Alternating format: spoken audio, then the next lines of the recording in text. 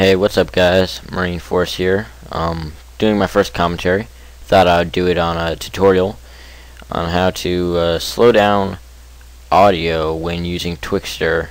And if you use Twixtor, you know that it slows down the video, but not the audio. And um, I looked around on YouTube and I found like tutorials on how to do this, but they involved keyframes and like they just they didn't seem fun. They were a lot of work and this is a neat trick that I use and it's quick, easy, effortless.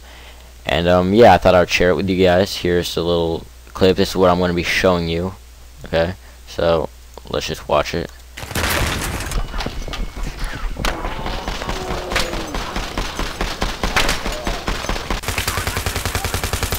So yeah, there you go. And at the beginning you didn't hear the gunshots, but that is because, well, this is Battlefield 3, and I think there was an explosion to the side or something, yeah, and it kind of muffled my hearing, so, anyways, it works.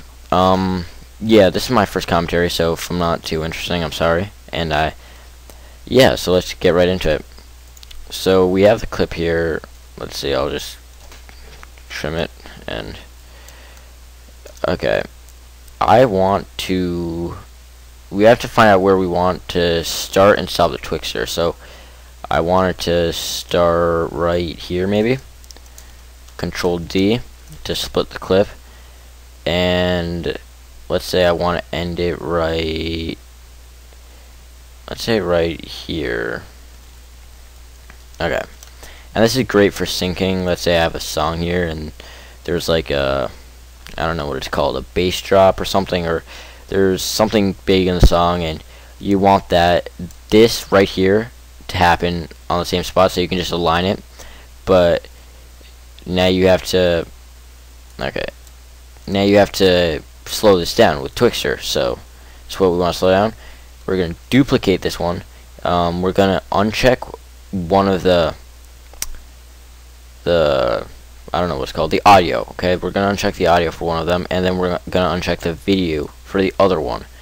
So it doesn't really matter which one, but what does matter is that the one with the video, that's the one that you put the Twixtor on. So there, uh, my frame rate is 60. Okay, so now from this entire clip, if we sped or slowed it down by 50%, it would probably fill this area. It, maybe not all of it, so I'm going to go to maybe 45%.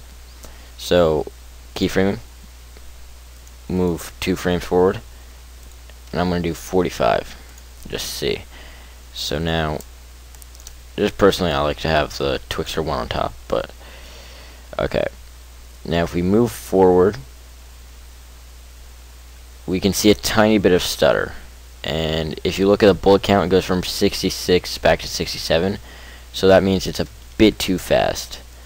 Just bring it back 43. This is really just trial and error.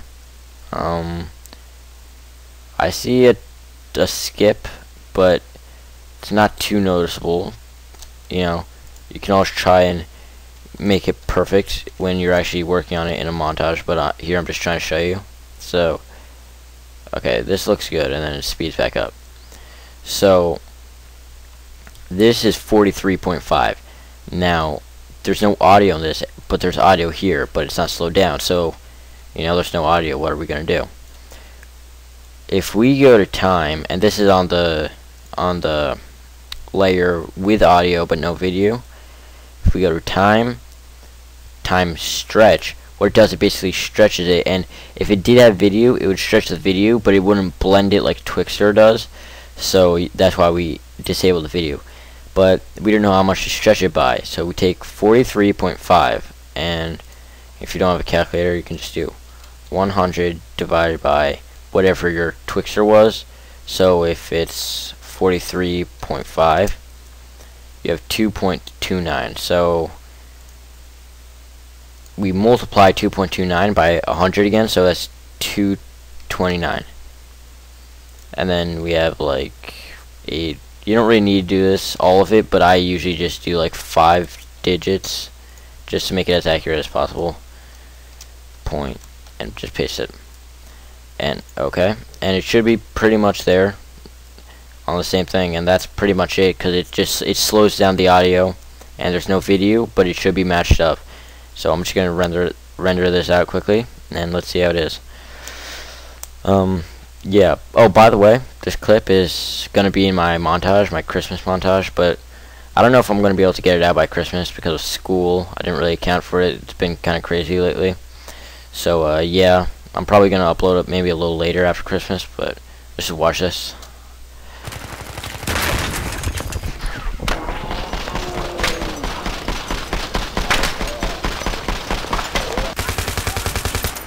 Yeah, so there you go. It slowed it down, and it's really easy, effortless almost, and it's fast too. So this is a really cool trick. I like it. It's always fun to slow down sound and just see how it is.